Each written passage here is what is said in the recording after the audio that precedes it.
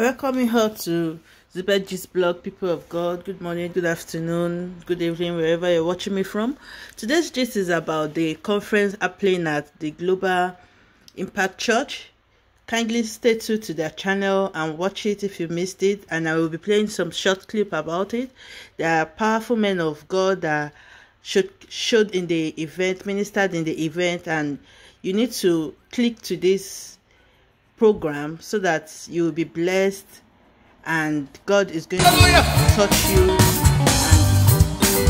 and answer your secret. Your hands, come on, let's go. Uh-huh.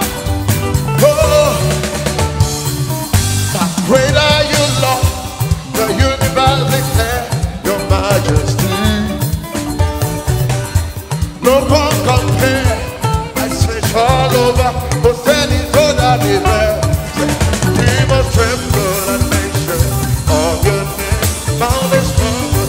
At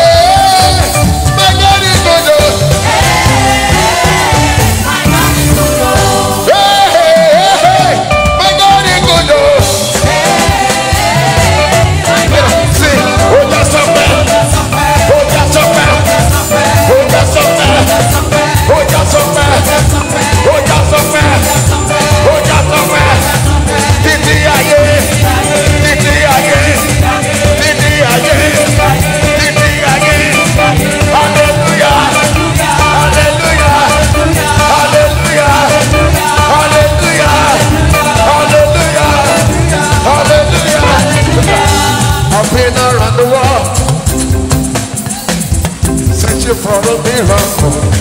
Listen up. I said, no.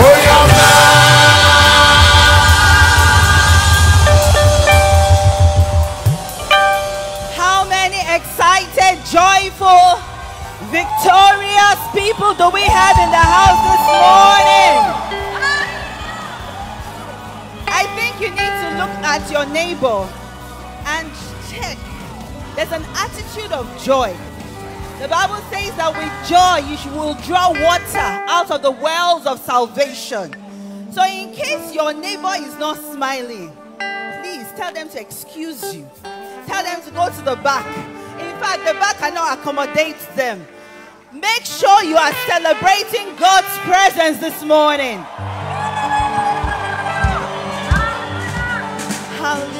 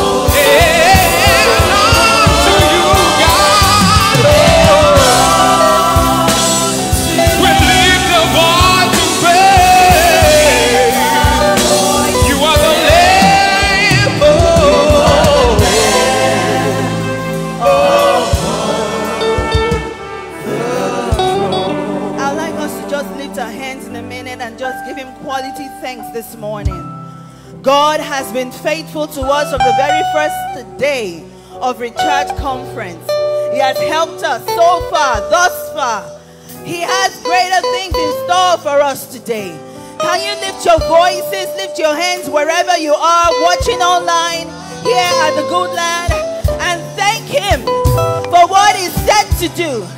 Thank Him for His visitation this beautiful day.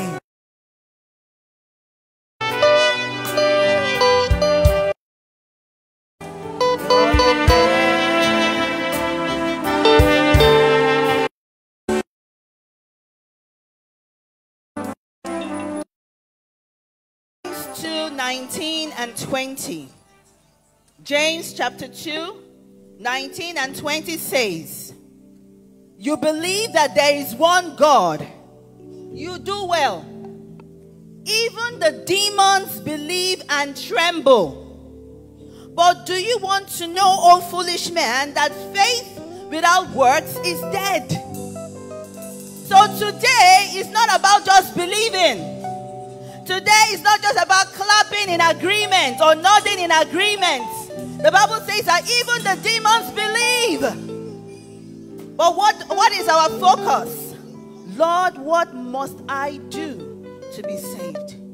In a minute, can we just lift our voices and tell Him, Lord, I don't just want to come here and clap and agree and believe. I want to take instructions. There is an instruction, there's a word for me this morning. Can you lift your voices and tell Him, Open my eyes to see, open my ears to hear? Nicodemus asked one question What must I do? And Jesus told him what to do. Can we lift our voices this morning? I hope you're praying. Lord, what must I do for the second half? There's an instruction for me. There's a way to go. There's something I must see. There's something I must hear. Help me to hear. Help me to see. Open my eyes, oh God. I don't just want to live here with mental assent. I don't just want to live here clapping and applause. I want to live here with a definite instruction. Father, we give you praise this morning. Thank you, Lord, for open heavens, your open heavens of revelation and wisdom and favor. We give you all the glory. In Jesus' precious name we prayed. I didn't hear you believing, amen. Can we put our hands together for the Lord as we welcome the worship team, TPG? May please be seated. Hallelujah. Can we just wave our hands to the heavens?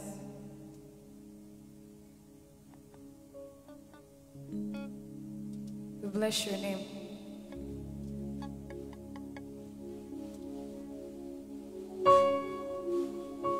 We bless you, O oh God. My hallelujah belongs to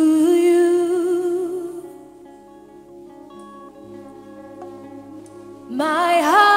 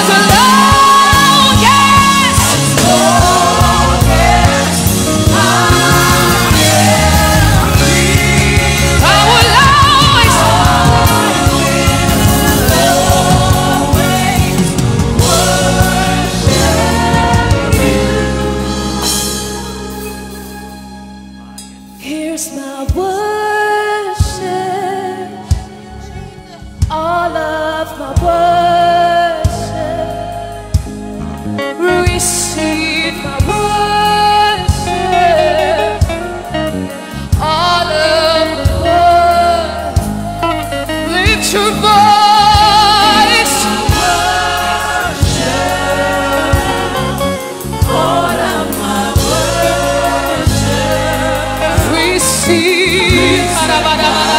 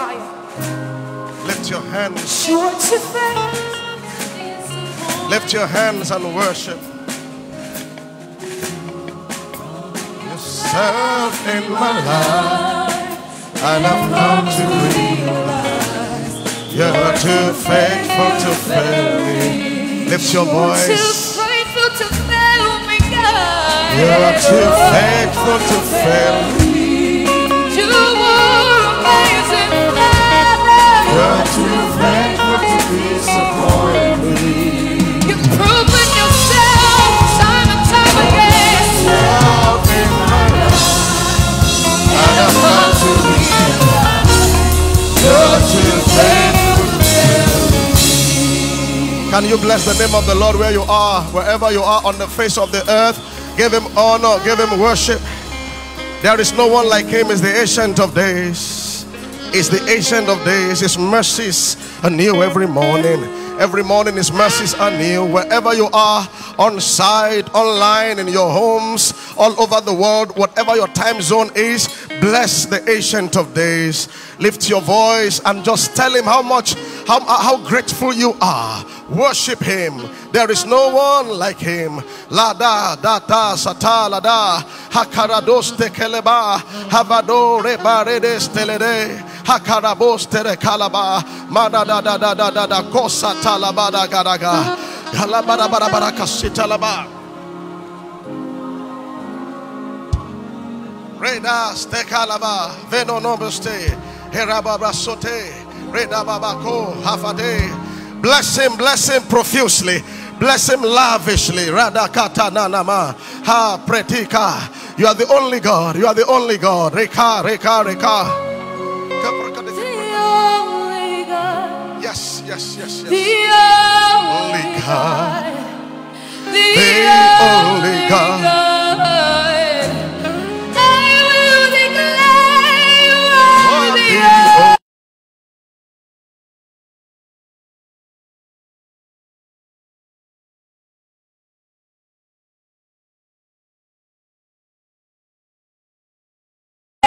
your voice.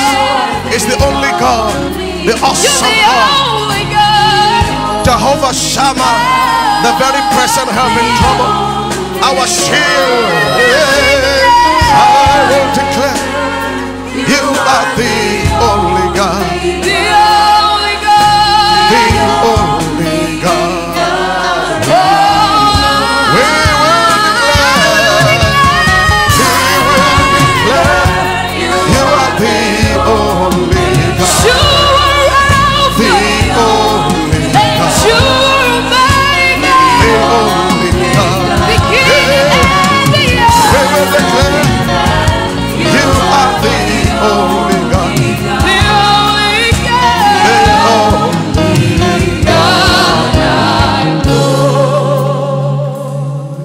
Holy Spirit, we respect you.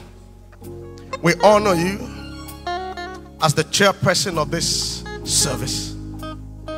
Welcome here. It is your place. It is your place. We yield every part to you. You are there, you are here. Thank you, Holy Spirit, precious friend. Stand by, strengthener, the great spirit, fire and peace. Holy Spirit, we love you, we honor you. Thank you. In Jesus' mighty name, amen. Are you glad to be here this morning? Please put your hands louder for Jesus this morning. Amen. Uh, just before you get seated, uh, God is doing a quick walk today. We don't have all the time. And um, two years ago, we had Recharge Conference, and one of our great uh, speakers, uh, Joshua, Apostle Joshua Selman, um, I remember we, we had an awesome time, and after the uh, a session at the end of the service, we we came. Praise the Lord. We came to this facility. Then it was just very rough uh, foundation, and remember we prayed together. It just dawned on me when uh, just some days ago, I said, wow, we came and we're the other side. Now we're worshiping uh, in this dome. So um, I don't know if we'll have the video introduction. Let's have the video introduction of Joshua Selman. Uh, will give us a word of charge. And then after that, the voice you will hear next is Apostle Joshua Selman. Apostle Joshua Selman Nimmak, an anointed minister of the gospel with a strong apostolic unction. He is the founder of Eternity Network International, ENI, an apostolic ministry with a mandate to replicate the fullness of God's life on the earth. His ministry has grown in leaps and bounds, reaching thousands across the globe. His deep insight into God's Word comes from a place of revelation, having encountered Jesus and the Apostle Paul at different times in the course of his ministry.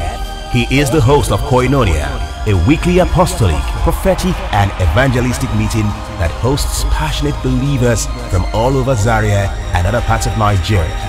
Global Impact Family, please let's make welcome Apostle Joshua Selman to Recharge Conference 2021.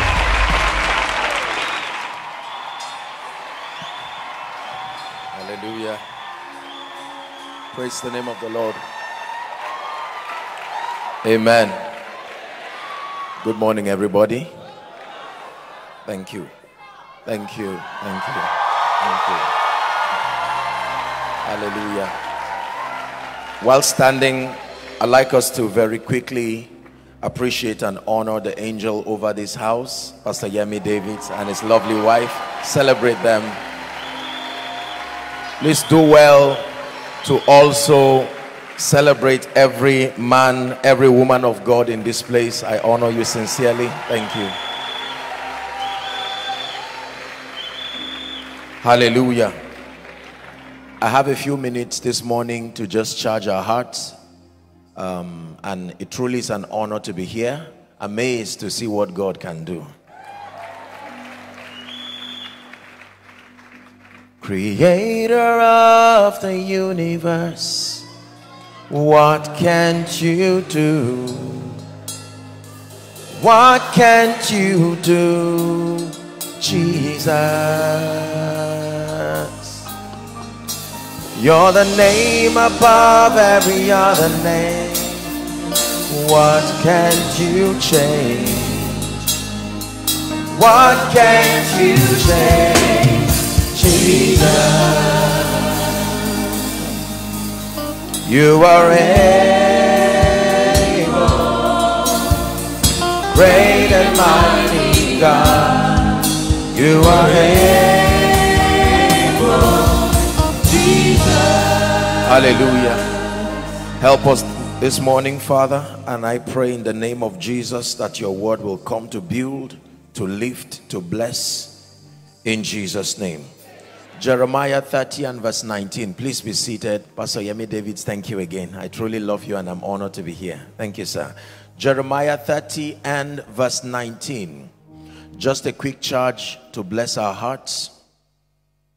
Jeremiah chapter 30 and then verse 19. It says, And out of them shall proceed thanksgiving and the voice of those that make merry. Is someone saying amen? amen? I will multiply them. King James, please, KJV. It says, And they shall not be few. I will glorify them, it says, and they shall not be small. Hallelujah. Multiplication is part of God's commission as far as the dominion mandate is concerned. In, in the details of the dominion mandate as we have in Genesis 1 and verse 28. Genesis 1 verse 28, the Bible says, and God blessed them and mandated us to have dominion. And he described the entire scope of man's reach and then the character and the nature of that dominion. Here's what he says God blessed them and said unto them, Be fruitful, multiply, replenish the earth, subdue it, have dominion over the fish of the sea, the fowl of the air, every living thing that moved upon the earth. So multiplication is part of the mandate. The mandate for dominion requires that everything God gives you multiplies. Are we together? It is consistent with God's character that every time he gives to man, whatever it is that he gives to man comes in the form of a seed. You will seldom have God give people harvests as the first instance of his giving. He would give a seed alongside the grace and the wisdom for multiplication. You have to understand this. It is a seed and then the grace and the wisdom for multiplication. Now, every time God blesses men with seeds, can come as wisdom, graces, creativity. It doesn't matter what expression. Seed just means the beginning and the foundation. Are we together? The life-giving factor of anything is a seed. Now, he does not expect that seed to remain at that level. In, Gen in Matthew chapter 25, for the sake of time, remember, he speaks about the parable of the talents that he gave unto one five, he gave unto one two talents, he gave unto one one. And then the Bible says the one with five went and traded it, and then he brought back 10 talents, five more.